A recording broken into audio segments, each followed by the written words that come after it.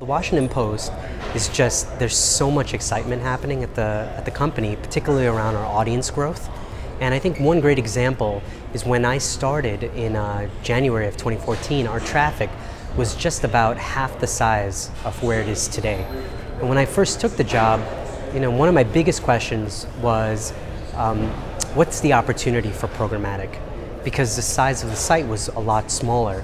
And just in about 18 months, we've seen just a tremendous amount of growth, giving, giving us a lot of opportunity to work in the programmatic space, particularly around um, the private exchange business.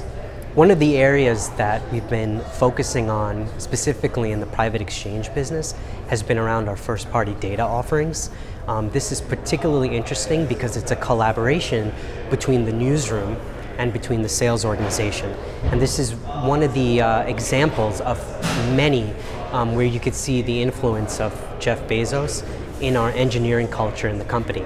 So we like to talk about our Clavis data, which is part of our um, big data engine, which not only helps keep readers on the site and engaged and diving deeper into news articles, but also it helps our advertisers pinpoint those very same readers down to the topic of interest that, that they might have, um, you know, where ads might be uh, focused on. Video is such an amazing growth engine in the digital media space, I think primarily driven by um, broadcast dollars that are being moved into the digital space.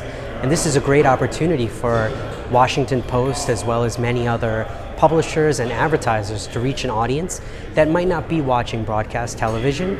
And I think it's a really cool opportunity for us um, to really look at what Outstream means to our business and determined its, uh, its best place in terms of ways for us to monetize uh, Outstream video, particularly as a new way for audiences to tap into um, video-based content. And I'm really excited to see where this business goes in the future and really give our company a chance to um, take advantage of these very high CPMs that are available in the marketplace, but also allow advertisers who have the, that television demand now moving to video to really consider Washington Post as uh, a place to uh, deliver their advertising and reach their audiences.